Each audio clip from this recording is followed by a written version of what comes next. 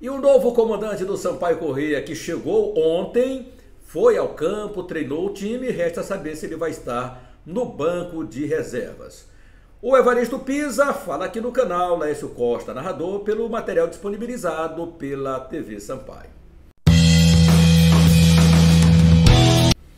Olá, torcida! Seja muito bem-vindo aqui ao nosso canal Lécio Costa Narrador. Inscreva-se, acione o sininho para você ser notificado das nossas transmissões, dos nossos conteúdos.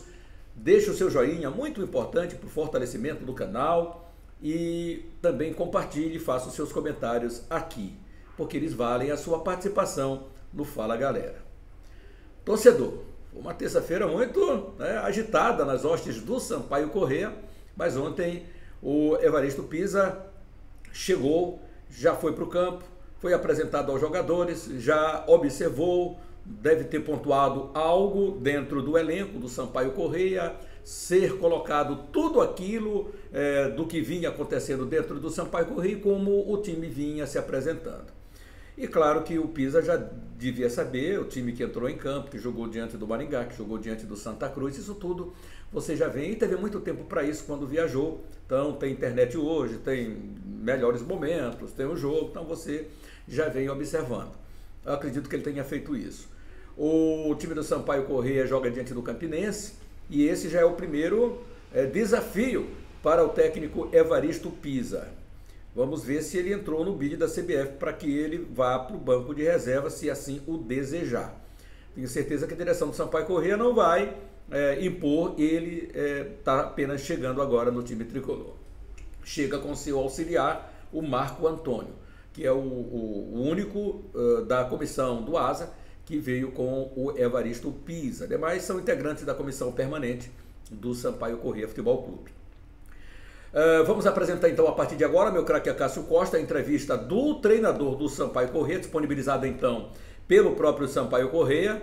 O treinador uh, inicialmente faz os seus agradecimentos. Ele que foi apresentado pelo uh, vice-presidente, o Pérez Paz, porque o presidente Sérgio Frota está no Rio de Janeiro participando de algumas reuniões na Confederação Brasileira de Futebol. Então vamos ouvir o Evaristo Pisa. Boa noite.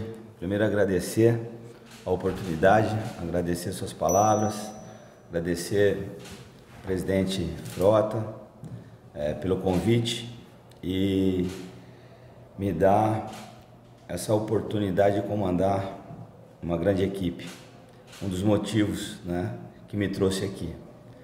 É, a gente sabe da história do São Paulo Correia, sabe da, da estrutura que é oferecida, de como se faz futebol aqui. A gente tem raiz em São Paulo, sempre acompanhando. A gente veio para o Nordeste em 2018, até então, né, 2023, permaneci mais radicado aqui, enfrentei o Sampaio várias vezes nas competições de Série C, de Copa de Nordeste.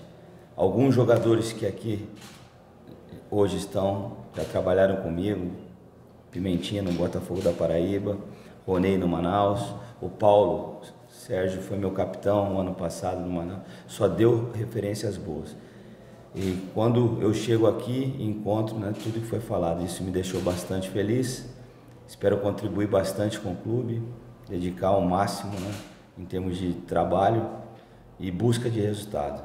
Então, essa oportunidade também é, foi o diferencial né, da minha saída lá do, do ASA, de poder fazer o futebol junto com, com todos aqui e trazer é, grande os resultados, as buscas, os objetivos que o clube tem, que é agora a questão do estadual, a busca na Copa do Nordeste e fazer um grande brasileiro como foi feito no ano anterior. Então nós vamos já desejando ao Evaristo, né, um bom trabalho no Sampaio Correia e seja muito bem-vindo, Evaristo. Futebol é, é, é, muito de repente, né? As coisas acontecem. E ontem o Asa se encontra numa situação semelhante ao, ao, ao Sampaio tem uma semifinal no domingo. Um jogo no, na quarta pela Copa Lagoas, onde a gente lidera o grupo. e a semifinal do estadual. Eu abro a semana falando da importância da semana, dos dois jogos, de fazer uma semana forte para trazer esses objetivos. Após o treino, 6h20, a gente ainda no CT toca o, o telefone. Eu vi o ramal 98, caiu o sinal e já na estrada, mas uma ligação eu atendi. E daí foi o, o presidente Sérgio Frota, é, falando sobre a, até brincando num tom de brincadeira, que, que eu vou ficar radicado no Nordeste, que eu sou um, um campineiro né, de São Paulo, de uma cidade Campinas, né, do João, mas que eu não ia voltar mais para o Nordeste. Daí perguntou onde eu estava, eu falei que estava chegando no hotel, ele falou, daqui uns 15, 20 minutos você me liga, que a gente vai bater um papo. E isso eu falei com o Marco, estava junto voltando do treino, cheguei no hotel, liguei para o presidente e aí começou uma conversa é, dessa possibilidade, nada concreta. E eu falei que eu precisava conversar com, com o presidente do ASA, pelo respeito, por tudo que o Rogério Siqueira fez por nós lá, e pus os dois em conversa. Então, o presidente do ASA com o presidente nosso, Sérgio, entraram numa conversa, num acordo e aconteceu de concretizar a, a contratação no dia de hoje. É, pediu para que se desse para se apresentar, foi uma correria grande, dormimos tarde, tivemos que sair muito cedo por causa da. A gente está em Arapiraca, até Maceió, tem uma distância, o voo já era meio-dia e já chega hoje, né? E dá sequência de conhecer o, o clube, conhecer os funcionários, conhecer os atletas. É, tudo muito, muito rápido, mas satisfeito e feliz né, por, por estar aqui e poder fazer parte né, é, de um grande clube, ser o comandante né, de, de uma grande equipe que tem objetivos grandes ao longo do ano.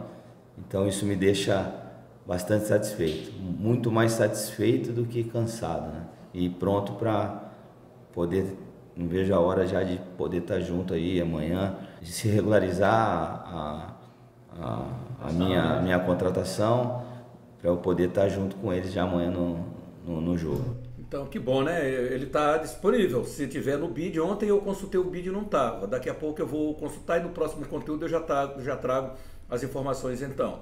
Mas é, é, isso, acho que os dirigentes eles têm que entrar em entendimento. Embora saibamos que o dirigente do Asa não ficou satisfeito, porque seu técnico está muito bem no time, semifinal, é, vice é, da, da, da Copa Alagoana, enfim, claro que isso deixa uma, aquele certo, aquela, aquela certa animosidade, mas de qualquer forma os homens se entendem. E o presidente Sampaio Corrêa fez muito certo em ter ligado perdeu o seu treinador, isso aí é muito.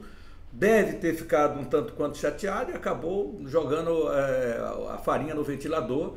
E aí todos nós soubemos da contratação do Evaristo Pisa através da nota dada pelo time do é, Asa de Arapiraca.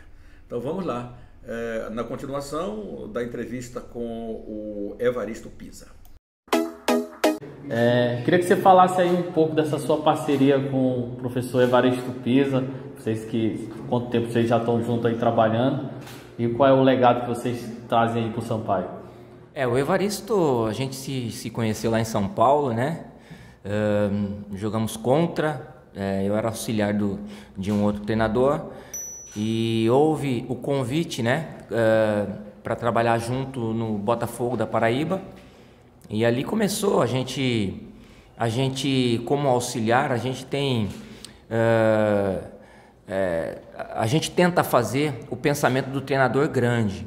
E ali estreitou uma amizade, né? A gente se conhece, os nossos familiares se conhecem. Imagina trabalhando em, na Paraíba e morando perto, né? Então firmou ali uma, uma, uma dupla. A gente trabalhou juntos no 15 de Piracicaba, no América. É, houve ali uma ruptura, né? Que eu fui para o 15 trabalhar, fiquei um ano e ele veio para Manaus. Uh, e houve o convite para vir para o Asa, né? Então a gente tem uma amizade aí nesses três anos que uh, de muita confiança, né? De muita confiança e, e, e o prazer de estar junto. Então eu estou é, feliz também, né? É, por essa oportunidade que nós temos. É, um, é, um, é uma pessoa assim que é, tem muita abertura, gosta de conversar bastante sobre futebol. Uh, ele inclui ao invés de excluir, então a gente se sentiu muito bem recebido aqui. Uh, tivemos aqui muitos amigos né, que jogaram, uh, tem alguns atletas também que já passaram é, pela minha mão, no caso, né? Então, estar no Sampaio hoje é um motivo de muita satisfação para nós. É, o Pimentinha foi uma, um pedido meu, uma contratação. Ele tirou um acesso né, em 2018, estava subindo com o Botafogo da Paraíba, Pimentinha na, junto com o Léo Condé, é, conseguiram 1 a 0 aos 47 40 e levaram nos pênaltis. E o Pimentinha fez um ano maravilhoso e a gente solicitou a contratação dele. Infelizmente não foi um ano é, bom em, em, termos administrativos. Quando o Pimentinha chegou, a gente tinha muito para fazer juntos, só que estava pesado o ambiente. É, eu fui demitido, líder da Copa do Nordeste, perdi o jogo para o Santa Cruz e tinha perdido mais um único jogo contra o Fluminense. Mas como a oposição na época assumiu e a que me levou tinha saído, é, houve um, uma quebra ali. Isso também descontentou um pouco alguns jogadores, o Pimentinho deles, e pediu a saída. Mas é um jogador que eu conheço a história. Eu fiquei, já sabia da capacidade, mas esse ano passado o que ele fez, eu fiquei assim abismado da, da maneira que ele, o que ele jogou. Né? Ele sempre jogou, mas esse ano que passou aí foi um ponto acima da curva. O Ronei, quando chegou no Manaus, também foi através do endosso. O, o clube já monitorava o Ronei. Quando veio a, a, o nome, eu endossei num jogo em, em João Pessoa, numa derrota nossa para o São Paulo 2x1, ele fez o gol. O Ronei fez um grande jogo aquele dia, chamava atenção. Até alguns amigos é, de São Paulo potencializando uma contratação dele para grandes clubes de São Paulo na, naquela época. Sondaram e me perguntaram sobre o atleta e hoje nós nos encontramos aqui. Isso é legal porque te ajuda né, a, a, a ser inserido no, no, trabalho. Quando você tem alguns jogadores que já trabalharam com, com você, eles potencializam o nosso trabalho no grupo. Ó, o professor age assim, ó, o professor tem esse tipo, ó, não acho que é uma dura, ele é assim. Então, fica é, mais acessível, né, você é, flutuar dentro do, do grupo. É, qual a, a outra pergunta final sobre a característica, né? Cada treinador tem a sua característica. O que eu aprendi aqui no Nordeste é, você tem que ser agressivo. Então eu fui para o Botafogo quando eu vim de São Paulo. Tem a característica de os atacantes de drible, de fundos laterais que passa, apoia, o, o 10 que decide e o 9 que faz gol. Certo? É o, é, é o, o povo aqui pede isso, a arquibancada pede isso. Qualquer situação contrária a essa, você gera um pouco de insatisfação. Então eu tenho um rótulo que foi criado e eu vou introduzir aqui. A busca em casa é forte do São Paulo. Eu já vi os números do São Paulo em casa no ano anterior muito forte. É o primeiro chute, é o primeiro barulho, é a primeira dividida, o primeiro escanteio, é 3U na arquibancada, o quarto é gol. Não tem como ser diferente. E a, e a característica do Sampaio é essa. E eu tenho que potencializar isso. Sobre sistemas, analisar o elenco.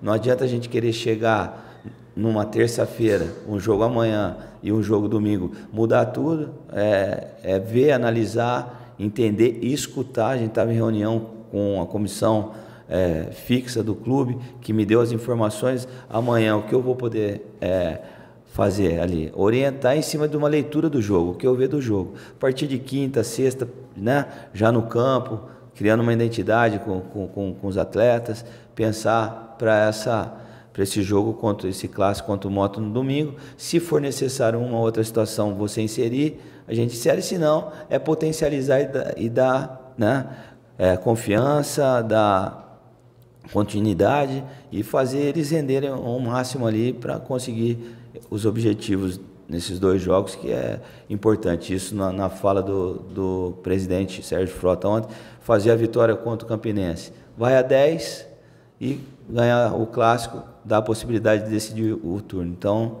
é isso que, foi conversado e é isso que eu vou poder é, fazer é, o máximo para que isso aconteça nesses dois jogos. Então, Sampaio, o professor está certo. Primeiro é focar. O que, é que tem pela frente? É o Campinense. Ele já trabalhou com alguns jogadores, já conhece aquilo que a gente falou. Então, já conhece né, alguns jogadores, já sabe o esquema de jogo. E agora vamos ver o que é que ele faz. Processar duas, três alterações, talvez, no Sampaio Corrêa, para esse confrontinho do Campinense, dar motivação, o jogador se motiva. Eu observei muitos jogadores dando like na chegada dele, quer dizer, o abraçando muito bem no Sampaio Corrêa, então tá em casa mesmo.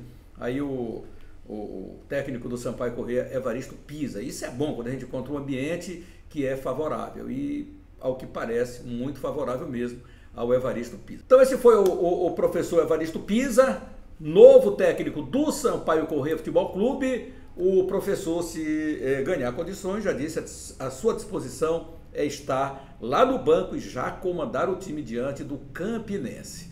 É isso, minha galera. Lembrando que o jogo acontece hoje às 19 horas, nesse Dia Internacional da Mulher. O nosso abraço a todas as mulheres desportistas, as mulheres é, de todo o Brasil, de uma forma geral. A gente agradece a sua existência e um beijo grande no coração de cada uma. Então, Dia Internacional da Mulher, hoje a mulher não paga ingresso lá no Sampaio Corrêa. Vai com a camisa tricolor, não paga ingresso, o jogo começa às 19 horas diante do Campinense. Jogo muito importante para a Bolívia querida. Inscreva-se no nosso canal, não esqueça de acionar o sininho para as notificações, deixe o seu joinha, o seu like é muito importante. Compartilhe e faça os seus comentários aqui para o Fala Galera. Hoje tem Fala Galera aqui no canal Lécio Costa Narrador. Grande abraço a todos, fique com Deus e até mais.